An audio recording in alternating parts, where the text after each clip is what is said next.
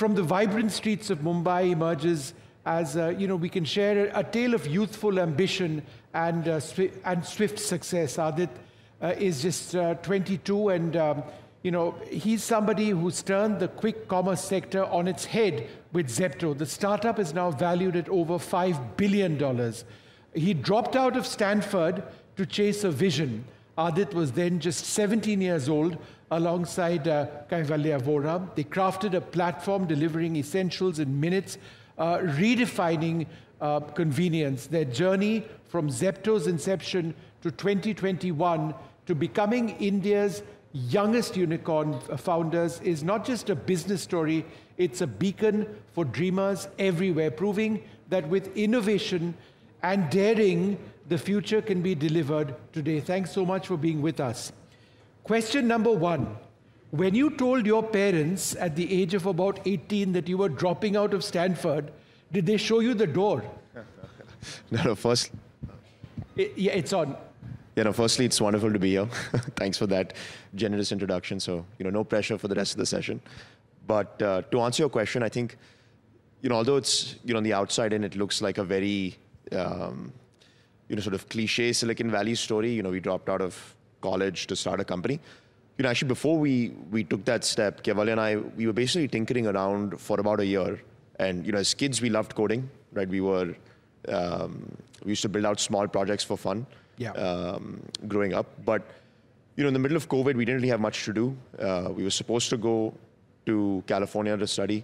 Obviously, all of us got put back into Bombay in that first wave of the pandemic, and we didn't really see the value in online education. So, you know, we took a call uh, to, you know, instead of wasting a year of that experience, let's just take a year off and just tinker around and build some interesting stuff. Most of our peers at the time at Stanford had internships at Goldman Sachs or Google. We didn't really have any of that lined up. And we just took a call to, to start experimenting. And how did you think this up? Yeah, no, we were just, you know, the two of us were uh, sitting in Sher-e-Punjab and Andheri East. Uh, first wave of the pandemic, you couldn't get groceries delivered. Um, you know, the offline options were all usually shut down. The online options at the time were taking six, seven days to deliver. And so we started with a WhatsApp group. And over the course of a year, we kept tweaking and iterating on the model, kept talking to customers, and you know, started building out the first version of Zepto probably a year after we launched that WhatsApp group, and got to a meaningful scale, which is when we took that call to to drop out, right, formally.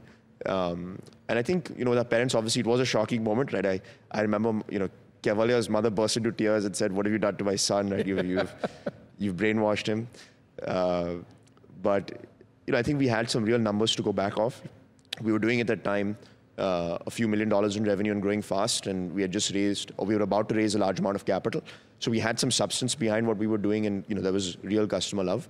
So we could take that conviction based, that con- that call based on data, uh, and not just sort of gut feel. I know the story is a little bit more exciting if it was just like a crazy idea, but at that time we had some numbers and we had some scale, and then we took the call. So at least you know, our, our fathers were a little bit more comfortable with it when they saw the numbers. So, so yeah. So when you went to when you go to Kaivalya's mother now and say, "Ma'am, my valuation is five billion dollars," what does she say? Go back to school? Yeah, pretty much she just says that, yes. She still says, what a beautiful life you've given up on at, at college, but, but yeah. I'm just trying to understand why did you pick 10 minutes as opposed to 15 minutes for delivery or 20 minutes? So, like I mentioned, we took a year just talking to customers. And, you know, at Zepto, you know, we're a customer company, right? That's the way that we call ourselves. And and when we when we were speaking to customers at the time, you know, most grocery in India is bought hyper locally, right? Most of the people told us that, you know, for them to really order multiple times a week, it had to be, you know, seamless, as easy as going downstairs and picking up, you know, fruits and vegetables or picking up day-to-day packaged foods. And we took it as more of an ambition. Can we sustainably, structurally at scale, do 10-minute delivery? We launched the first, you know, micro warehouse or dark store in Bandra in Mumbai, and that's when we experimented with it. And we realized, you know, after a few months of iteration, that hey, this is actually possible and scalable. And that's when we took upon ourselves to go to the extreme lengths. Like we don't, we didn't think there was any more, anything more extreme than 10 minutes. And we said that let's push ourselves to actually deliver this for the customer. Um, and like the last panelist said, right, like if you do something good, um, you know, profits will follow, and that's what we've seen, right? Like, you know, because the retention and customer love is so high, um, and bec- largely because of that 10-minute delivery promise, we've been able to see some pretty incredible economics and scale in this model very quickly, which is why you know, people are excited about quick commerce generally. But in India, when it rains, it pours. Gurgaon gets flooded in five minutes, Delhi in about 10, uh, and yet you promise 10 minute deliveries. Yeah, no, there's obviously some nuance to it, right? Like obviously, if it's you know raining heavily, then we we, we don't deliver nearly as fast. And when you open up the app, you see a live ETA. So you, you might see six minutes, you might see 11 minutes, you might see 14 minutes. In a flood, you might see 24 minutes, 25 minutes when it's in a heavy rain situation, or maybe we can't service it at all if it's heavily flooded. Uh, so obviously it fluctuates, but the median today is about 10.6, 10.7, like what we're live tracking towards. So, so yeah. You know, we don't talk very much about gig workers, do we? Uh, and we should. Uh, these are the people who, in a sense, are, um, you know, literally drive the company. I mean, it's, it, it's, it's a cliche, but they, they actually are the transporters. It's difficult, it's hot in India, it's cold in India, the conditions are difficult, the traffic is crazy. So how important are, are the people, the men and the women who are gig workers, who are part of your business? No, absolutely. I mean, you know, our philosophy is to add value to as to all our stakeholders, right? Customers, um, you know, the workers that we have across the business, and obviously then shareholders in that order, right? And you know, we look at adding value to a delivery partner's life as a core part of the value proposition of Zepto. And interestingly enough, you know, the more value you add to those delivery partners, the more retention that you have in that fleet, the lower your costs become, and the you know the better your overall business outcome becomes as well. So we don't just look at you know goodwill to delivery partners as a you know social initiative. We look at it as actually a business objective, right? And you know as a result of that, if you look at the way that we've you know built out this delivery fleet, we've basically gone from zero to 50,000 delivery partners that earn a livelihood on Zepto in 36 months, right? Effectively 50,000 uh, you know people now have sort of you know steady, stable, consistent income uh, very quickly, and that's rapidly expanding. And how have we added you know, value to their lives? You know, from our perspective, you know, we do things that that we are proud of, like for example, giving them you know, the ability to do doctor consultations, vehicle repair and insurance on their vehicles, you know, even things like term insurance, right? Um, we go a little bit above and beyond. We're constantly trying to innovate as a team. Like we've got a dedicated engineering and product team that's just constantly trying to figure out how we can add more value. So for example, you know, one of the, when, when I speak to delivery partners and when our team speaks to delivery partners, one of the things they talk about is, you know, cash flow, access to capital that's cheap. So we said, okay, instead of paying them every week, can we pay them every day? Mm-hmm. Can we pay them every hour, right? So we're going to like the, uh, to even crazy lengths to solve some of their problems. And if we can't do that, then we partner with, let's say, an NBFC to give them lower cost of capital and we negotiate on their behalf, right? And so, you know, from our lens, you know, we are always on the lookout to add more value to them. Obviously, there is a marketplace, right? There is, you know, structural forces of demand and supply in the labor market. Um, but we do try, you know, our philosophy at, at Zepto is how do we unlock more productivity so that we can pay them more or pay them in a stable fashion instead of this race to the bottom where we constantly keep chipping away at, at their income. We don't think it's productive. We don't think it's sustainable. Uh, we think real efficiency unlock and then, you know, sharing that efficiency is a real way to compound. Uh, so in a nutshell, you know, everything from you know, the basics from health insurance to vehicle insurance and other, other benefits, all the way to you know, cash flow visibility, innovations on you know, how we pay them and solve for you know, day-to-day problems, all the way to you know, you know, new things that we're trying to figure out, um, like you know, giving them flexi- like pure play flexibility to work, even if they want to do, let's say if you're an MBA student and you've got two hours in the afternoon, can we create a, a you know, a gig worker style program for you to give that MBA, you know, an income of 8,000 rupees a month, if not mm-hmm. a full, you know, 20, 25,000 rupees a month, which still makes a huge difference. We keep trying to do these innovations to add value, and genuinely, genuinely, we're good faith. And the last thing that I'll mention, sorry, is that you know, even with stakeholders in the government, right, we are always, you know, open to feedback and suggestions. So, you know, we work with state governments, and if they genuinely feel like there's a better way that we can add value, we're obviously open to it. With, like I mentioned, the real constraint of demand and supply and labor that we have to all adhere to, right? Uh, but yeah. No, so when you look at uh, AI and uh, the way the technology is, is improving, where do you see, for example, for me as a user, the interface change, let us say five years down the road? How would it be easier for me, and how would it possibly be premised on 6G coming into India? That's a great question. Um, so, you know, for us, you know, what's a little bit interesting about our company, and you'll see this with most of the startups, is that we have that Silicon Valley product and tech DNA. So we have like a high performing, you know, engineering and product team that we've built out pretty methodically in Bangalore to be able to genuinely build like real systems that can add value on data science and artificial intelligence. So for example, you know, we have a an advertising business for let's say the Unilevers and Procter and Gambles of the world to bid on search keywords at Zepto uh, and to get like ad placements live on the platform. And we're making hundreds of crores of revenue of that. That's pure bottom line because it's just advertising. And that engine that we built in house that we call Jarvis internally, mm-hmm. um, you know, all the you know the ranking engine, the bidding and attribution on that ad stack, uh, you know, all of it is powered by data science and machine learning models. And we built all of that in house, and it's taken us some time to do it, but we built it relatively quickly. Or, for example, to your question, as a user, mm-hmm. what's different for the user today that we can actually do with you know data science and machine learning systems? So, search is one of the biggest things that we focus on. So, how can I just you know look at your search history and personalize results for you so that you are getting relevant products? Right? If you sit in Defense Colony versus if you sit in West Delhi, there's a difference in what you want to see, mm-hmm. right? If you've got an iPhone versus you have an Oppo phone, there's a difference in what you want to see uh, et cetera, et cetera, right? If you've, if you've looked at, you know, feminine hygiene products, and that means you're probably a female customer, can we push more products that are more relevant to you? So constantly building that relevance to make the user's buying experience better. And then the last thing that I'll mention is, you know, there are, you know, interesting things that we're even doing on our selection. So how can we predict store by store, micro market by micro market, um, what a customer would want, looking at, you know, the tens of millions of data points that we have historically. And that's actually helping us improve our selection. That's helping us get sourcing leverage to improve our prices. So, you know, everything from the search and recommendations to the advertising business to we have to the supply chain, there's a lot of machine learning that we already use today.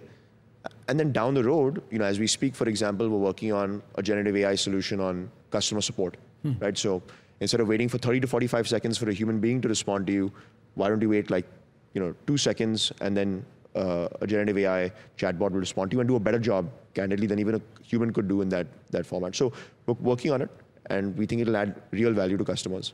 What's the average age of Zepto? The age of a Zepto customer? Yeah, of your, of, of your workforce. For workforce, corporate workforce would be around 29 or so. So you're still younger than your average workforce. Very younger. much. I'm younger than the interns. You know, I keep right. getting that. Uh, you know, I keep getting that feedback. But yeah. So how do people in the workplace sort of deal with you? They see you as this 22-year-old boss. Was 22 is like old for you. You started when you were much younger. How does that dynamic work?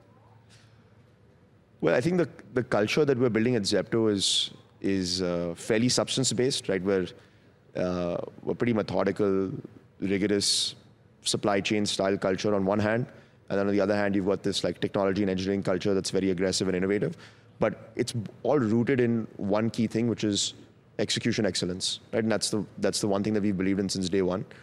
And I think you know it's taken some time, but you know with with the team that we have, and candidly, you know, like you mentioned, most of the people are my the people that report to me are mostly almost double my age, right? Mm-hmm. And they, I'd say, are some of the best executives in internet in India today, right? For example, the CFO of Myntra, uh, who's now our CFO, or you know top tier, you know tech leaders from the Flipkarts and the Amazons of the world, right, that have joined Zepto. You know, you know they report to me, and I think you know it's taken time, but hopefully Kaivalya and I have been able to prove our ability to add value and go deep into the details and actually uh, run tracks rigorously ourselves and execute. And I think there's a mutual respect of that, you know, execution and strategic thinking that comes from the top management team and us.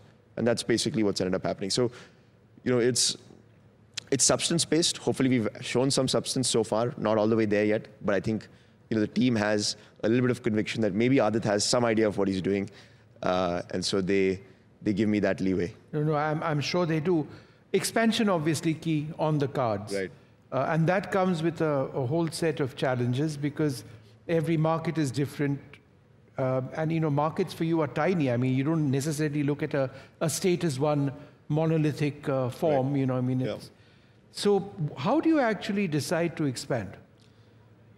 Absolutely. So, so I'll give you a little bit of history. Right, we've uh, we've had a pretty interesting journey at Zepto. We've gone from zero to about 10,000 crores in volume in two and a half years. So, fastest growing internet company of all time in Indian history, uh, and we're very proud of that and even on you know that base of over a billion dollars in top line. We're growing pretty rapidly even as we speak, expanding into new markets. So, for example, in the past 90 days alone, we've launched cities like Nasik, like Chandigarh, like Jaipur, uh, like Lucknow, like Coimbatore. So, you know, we are actually launching new cities as we speak. And, you know, the framework is straightforward, right? You know, we start city by city, what's the descending order of priority?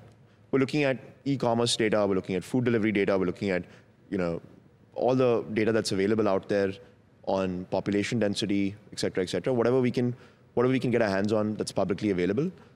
And we rank, we've ranked cities, and we've done this exercise a while ago.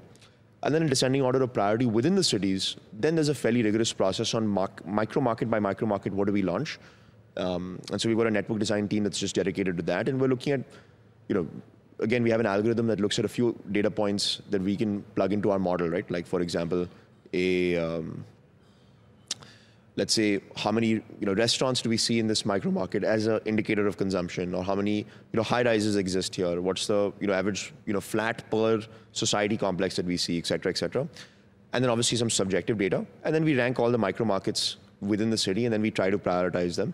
But you know at this point we're expanding pretty meaningfully. So you know wherever we can get our hands on a property we move fast there uh, but it's a fairly methodical boring process that we've built out over time uh, and you know so the past 18 months or so, we've obviously been you know, slow on expansion from a geographic perspective. Obviously, within our existing markets, we've grown pretty rapidly, largely because you know, capital was difficult to come by 2022, 2023. We were constrained on you know, the ability to invest in capex and launch new stores. But obviously now we've you know, proven the economics to a great extent. We've been able to raise capital, and now we're expanding pretty aggressively uh, geographically. Absolutely incredible story. But before you leave, one last question. How, at the age of 22 now, do you deal with the fact that you're a phenomenally wealthy human being? You run a company with a market valuation of $5 billion, and that I believe is set to go up. How, does, that, does that affect you, your lifestyle, or do you just keep working and pegging away with ideas? Look, not much, candidly, right? I mean, we started this company without the intent of starting a company. You know, both Keval and I just were really excited about building uh, interesting things and um, you know we love what we're building. Like we work like crazy. You know the people from my team here that know you know the the, the way that we work, but uh, we just are genuinely so excited about what we're building. And I'll tell you what actually motivates us. Right? It's not really about you know money or personal wealth because candidly, you know.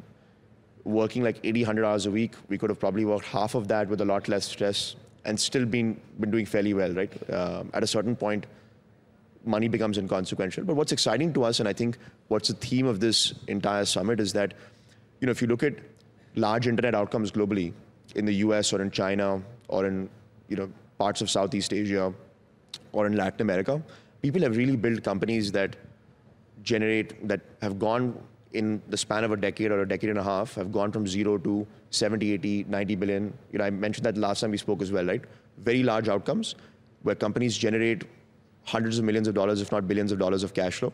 Like world-class companies in internet like Uber or Airbnb or Coupang or Mercado Libre in Latin America, or obviously the Chinese companies Meituan, Pinduoduo.